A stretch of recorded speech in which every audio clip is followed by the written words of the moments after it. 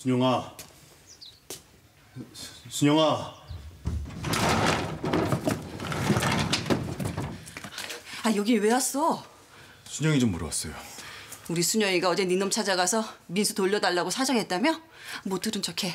아니 순영이한테 민수 못 준다고 해. 저 순영이랑 얘기 좀 할게요. 아이고 아이고 아이고 내가 부탁한다고. 나 우리 순영이 좋은 남자인데 시집 가서 잘 사는 거 꼭 보고 싶어. 아 그래서 민수 네 집에 데려다 준 거야. 그러니까 우리 순영이 조금이라도 생각하면 민수 다시 보낼 생각 말라고.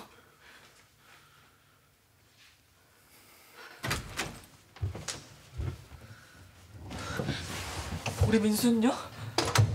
왜 혼자 와요? 왜 안 데리고 오냐고요? 너랑 얘기 좀 하려고 왔어, 순영아. 무슨 얘기요? 나 정우 씨하고 할 얘기 없어요. 우리 민수만 데려와줘요. 너 결혼할 남자 있다며. 좋은 사람이라고 들었어. 그 남자가 민수 놓고 그래서 결혼 깬 거라며. 순영아.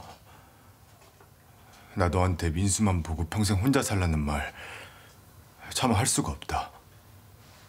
그건 너한테 또 죄를 짓는 것 같아서. 널 위해서 내가 해줄 수 있는 일이 뭘까? 뭘까, 순영아? 무슨 얘기를 하는 거예요? 왜 그런 얘기를 하냐고요? 민수를 너한테 다시 데려다 주는 게 널 위한 일인지 판단이 안 서. 우리 민수 데려오기나 해요. 나한테 또 죄짓고 싶지 않으면 당장 우리 민수 데려오라고요.